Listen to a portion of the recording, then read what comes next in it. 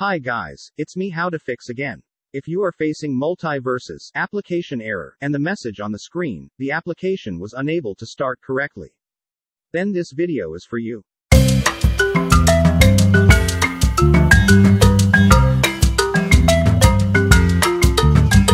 Method 1. Run SFC scan. Press Windows key, then type CMD. Now, right-click on Command Prompt, then select Run as Administrator, then choose Yes.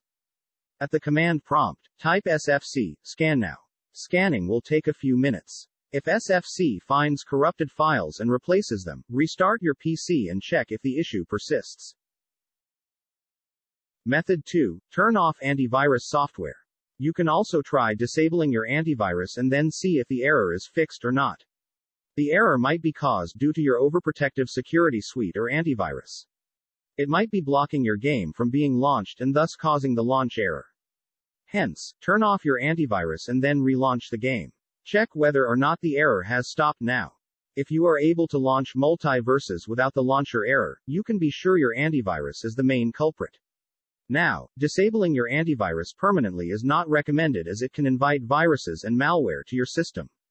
So, add the MultiVersus game to the exception or exclusion list of your antivirus to fix the error.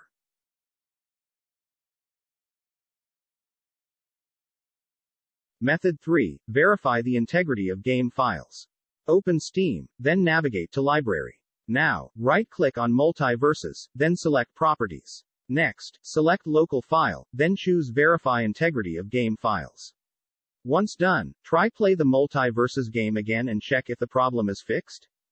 Method 4. Make sure installed latest Visual C++ redistributable package. Press Windows key, then type Control Panel and select it from the results. Navigate to uninstall a program. Press and hold, or right-click, on the Microsoft Visual C++ 2015 to 2022 redistributable x64, and uninstall, then follow the directions on the screen. Do the same with all versions. Once done, you need to restart your computer. When restart done, visit this site and download latest Visual C++ redistributable package, then install it. Finally, run Steam as admin and start the game normally.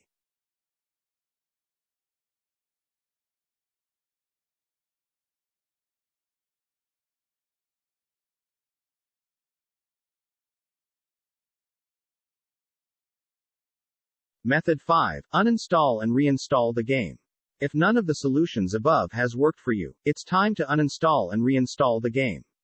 When you uninstall software, app, game, it will delete all the game data and files. By this trick, the corrupt files related to the game will also get deleted. That's it, guys. I assume this guide was helpful to you.